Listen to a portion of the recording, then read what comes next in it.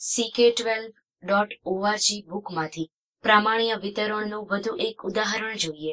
હું તેનો એટલા માટે ઉપયોગ કરી રહી છું, કારણ કે તે એક સારી બુક છે. તેના પ્રશ્નો મહાવરો કરવા માટે સારા છે. તમે તે બુકને વેબસાઇટ પરથી ડાઉનલોડ કરી શકો. ધારો કે લગભગ એક પોઈન્ટ એક ગ્રામ પ્રમાણિત વિચલન સાથે અને અહીં આપણે એકમ કિલોગ્રામ લઈશું. એક પોઈન્ટ એક કિલોગ્રામ પ્રમાણિત વિચલન સાથે નવ પોઈન્ટ પાંચ કિલોગ્રામ મધ્યક સાથે. યુએસમાં એક વર્ષની છોકરીઓનું સરેરાશ વજન પ્રામાણ્ય વિતરિત કરવામાં આવ્યું છે. તો અહીં મધ્યક આપણને નવ પોઈન્ટ પાંચ કિલોગ્રામ આપવામાં આવ્યું છે અને પ્રમાણિત વિચલન એક પોઈન્ટ એક કિલોગ્રામ આપવામાં આવ્યું છે. કેલ્ક્યુલેટરનો ઉપયોગ કર્યા વગર યુએસમાં એક વર્ષની છોકરીઓની ટકાવારીનો અંદાજ કાઢો, જે નીચેની શરતોને સંતોષે.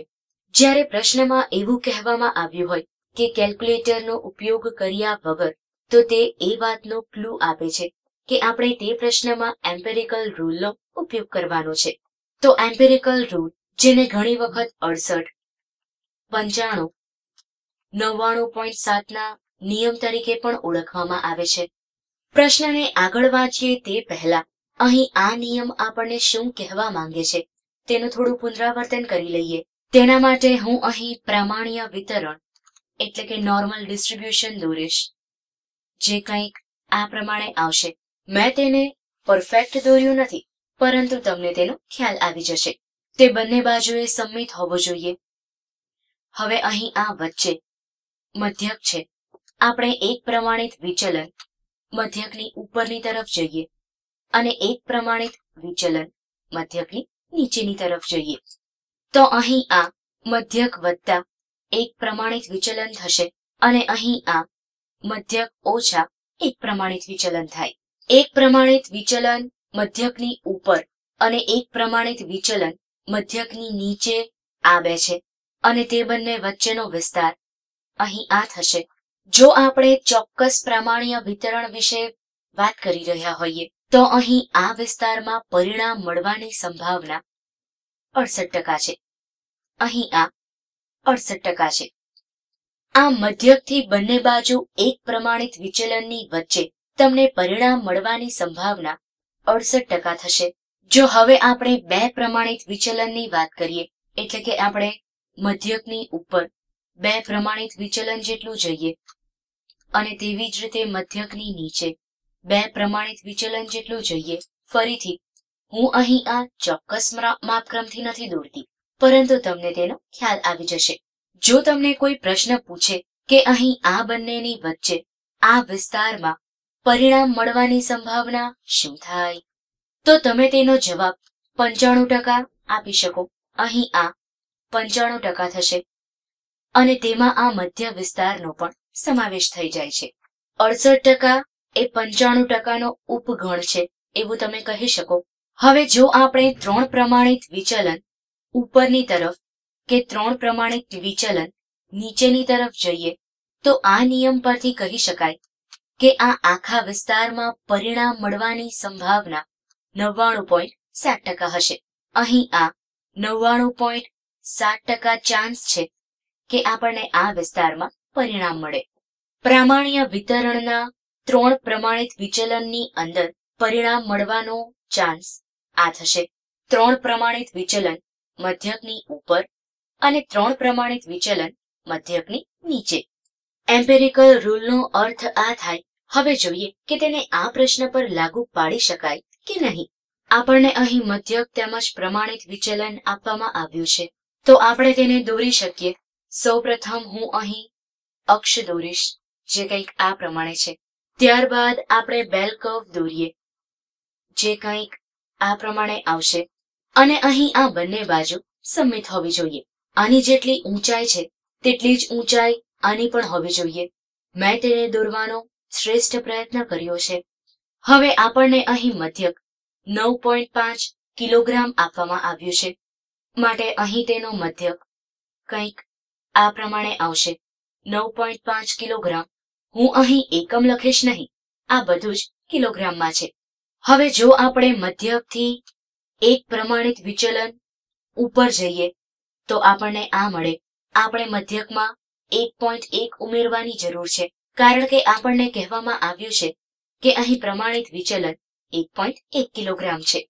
માટે અહીં આ દસ પોઈન્ટ છ થશે. હું ત્યાં આ રીતે લીટી પણ દોરી શકું. હવે આપણે એક પ્રમાણિત વિચલન નીચેની તરફ જઈએ.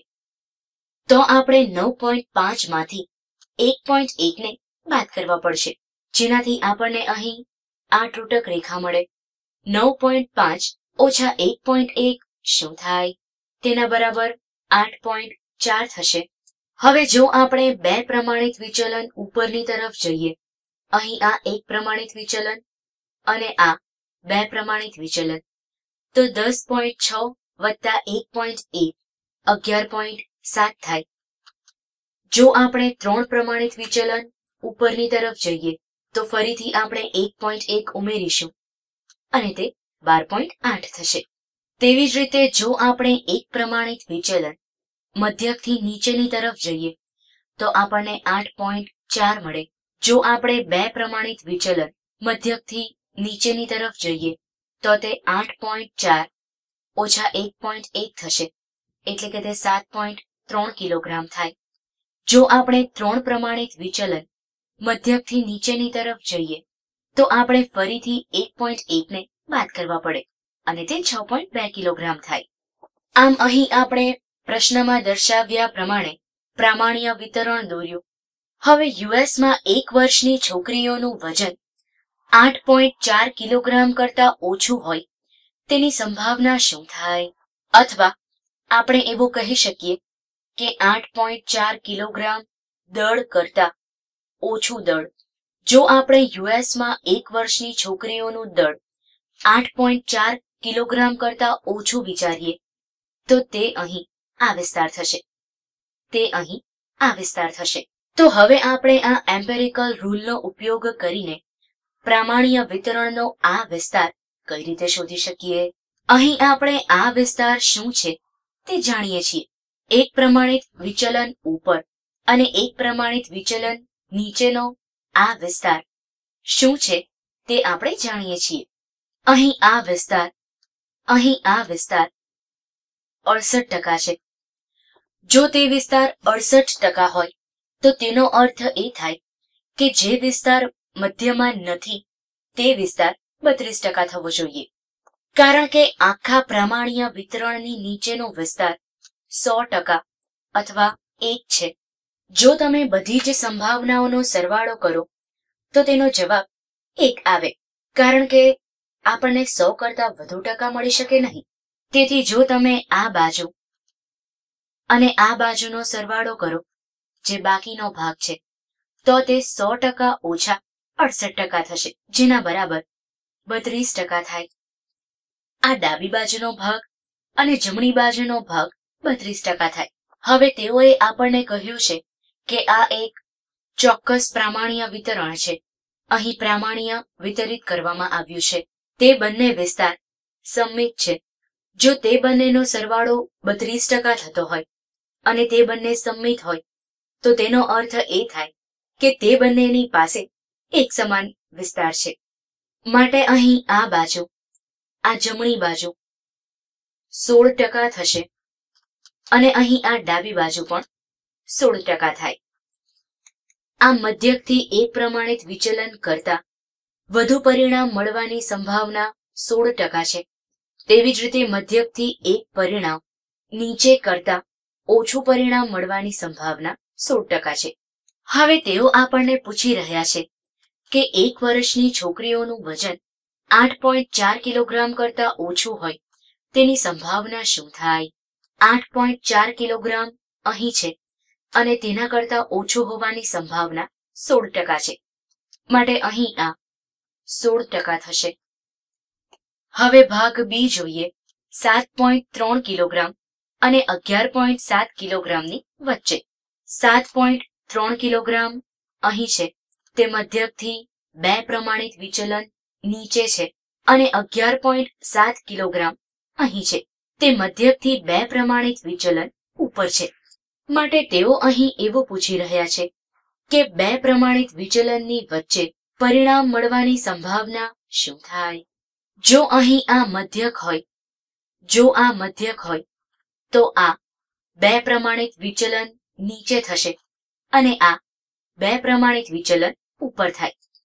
હવે તેની ગણતરી કરવી ખૂબ સરળ છે. એમ્પેરિકલ રૂલ પરથી કહી શકાય કે બે પ્રમાણિત વિચલનની વચ્ચે જ પરિણામ મળવાની સંભાવના પંચાણું ટકા છે.